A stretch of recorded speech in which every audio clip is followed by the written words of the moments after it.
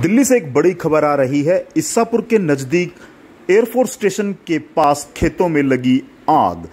जी हाँ, जैसे ही इस इस घटना की सूचना जाफरपुर पुलिस स्टेशन को मिली, तुरंत एसआई बनवारी लाल और पुलिसकर्मी वहाँ पहुँचे और आग बुझाने का प्रयास किया।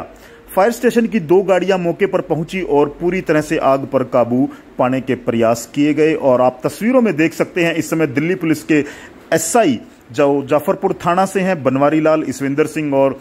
मौके पर पहुंचकर आग बुझाने में फायर कर्मियों की मदद की है और दो दमकल की गाड़ियाँ इस समय मौके पर पहुँची हैं और बड़ा नुकसान होने से बचा लिया गया। जी हाँ, वीडियो में आप देख सकते हैं किस तरह पुलिस वाले और फायर कर्मी अपनी जान जोखिम में डालकर आग को बुझाते हुए आपको नज़र आ रहे हैं और एक बड़ी दुर्घटना होने से बचा ली गई है और यह आग लगने के कारणों का भी पता नहीं चल पाया है और तस्वीरों में आप देख सकते हैं, इस समय यहाँ दिल्ली पुलिस के जाफरपुर थाना के कर्मचारी, दमकल कर्मियों और फायर स्टेशन कर्मियों के साथ आग बुझाने का प्रयास करते हुए और जागरूक किया जा रहा है लोगों को कि इस तरह की घटनाओं से बचा जाए, पूरी मुस्तैदी से पूरे फ़सल की जो इस समय पक्कर के तैयार है, कटाई हो चुकी है तो ये जो चीज़ें नज़र आ रही हैं आग से, नुकसान जो